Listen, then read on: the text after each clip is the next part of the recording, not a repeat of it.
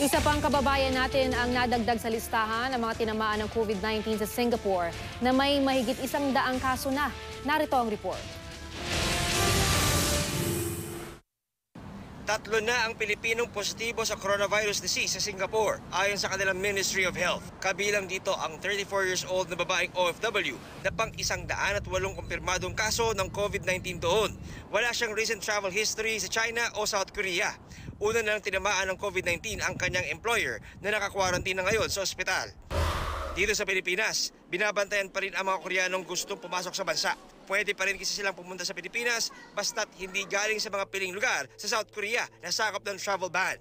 Garantiya ng South Korean government, mag issue sila ng certificate sa kanilang mga kababayang papilipinas para patunayang hindi sila galing sa mga lugar na sakop ng ban. Pero wala pa yan sa ngayon. Kaya umaasa muna ang mga immigration officer ng bansa sa pinapakitang resident registration certificate ng Koreano. Magpupulong din ang Interagency Task Force on Emerging Infectious Diseases para tukuyin kung kinakailangan pang palawakin ang travel ban sa South Korea. Labimpitong Koreanong galing Daegu City naman ang nakauwi sa kanilang bansa matapos i-quarantine sa Cebu. Ayon yan sa ulat ni Consul General Um Won-jae kay Mayor Edgardo Labella. Siyam na Koreano pa ang minomonitor sa magkahiwalay na ospital sa Cebu. John Consulta, GMA News.